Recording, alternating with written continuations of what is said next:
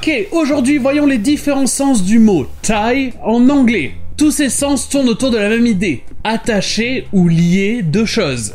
Tout d'abord, tie, c'est un verbe qui a ce sens-là, attacher deux choses l'une à l'autre à l'aide d'autres choses. And this ties up here? That ties at the front. That's good. Let's just tie him up and leave him. No! C'est pour ça que tie peut être aussi simplement faire un nœud. Et de ça, vous avez to tie your shoes, ce qui est littéralement attacher vos chaussures, mais c'est ce qu'on appelle en français faire ses lacets. Tie this for me. Just tie it. Just tie it.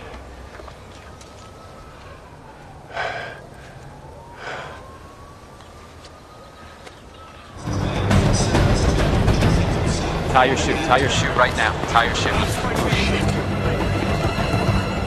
Et tie, c'est aussi un nom.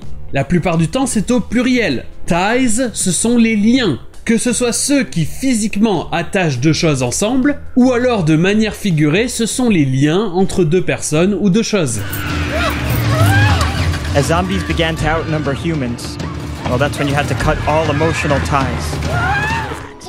You and me, Hawkins and Silver, full of ourselves and no ties to anyone. Mais vous trouvez aussi le mot tie pour quelque chose de spécifique. Une cravate. Et ça s'appelle simplement comme ça parce que c'est attaché à vous par un nœud. Et d'ailleurs, on trouvera aussi tie dans le nom anglais pour un nœud papillon. Ça s'appelle a bow tie. Ici, bow, c'est un nœud décoratif, comme un nœud papillon, ou alors celui qu'on trouve sur les cadeaux par exemple. He was wearing his yellow tie. I didn't even wear a tie to work anymore. I'm be the maitre d'.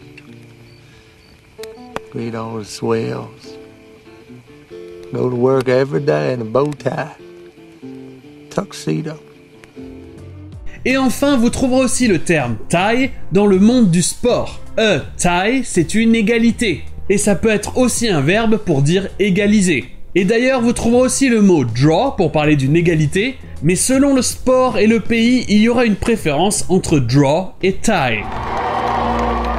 Tied with Slytherin. And finally, That was an amazing game, though. You know, bottom of the eighth, Carbo tied it up. It was 6 6. Et voilà pour tie, et sur ce je vous dis, à demain